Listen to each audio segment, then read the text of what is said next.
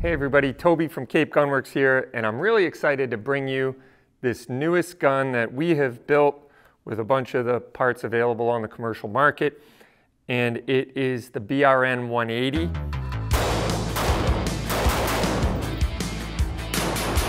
Woo! Which is a derivative of the AR 18 if you go way back, or the AR 180 but it's a hybrid of it. It's not true to its original form and it's not interchangeable with all those original parts. So this is a ground up redesign of a cool gun that has its history. It was designed by Eugene Stoner, the same guy who invented the AR-15. And unlike the AR-15, this was originally designed for the military market.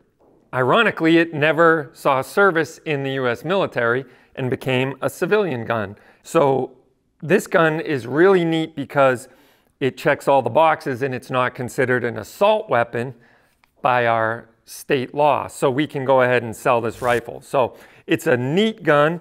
It takes AR-15 magazines, shoots 5.56 or 223 because it has the 223 Wylde chamber, which I really love. That's my favorite chamber. Um, fixed stock, and a pinned and welded muzzle device. In this case, it's the Surefire uh, SOCOM mount. So you can use the WARCOMP blast deflector, if you will. So it'll drive all that gas straight away from the shooter instead of to the sides on this big two-port brake, which destroys everyone's ears on the firing line. The other big benefit is if you live in a free state, you can put the SOCOM suppressor on there or the silencer. It'll mount right on this uh, compensator that's there. And I love the wood stocks that pays a little homage to the yesteryear.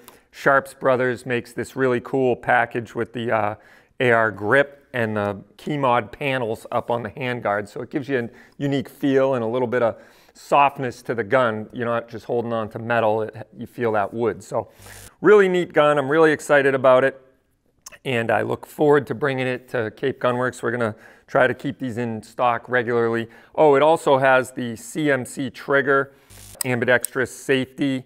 So that's a match grade trigger, really, really clean and crisp. And this is the flat face trigger with a three and a half pound single stage. So it just breaks. It's a really clean, uh, really clean trigger break.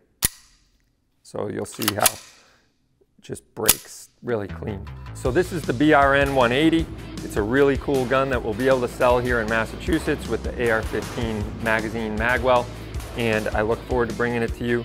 Uh, so check it out at our shop or online at capegunworks.com, and don't forget to follow us on social media for more of this great content.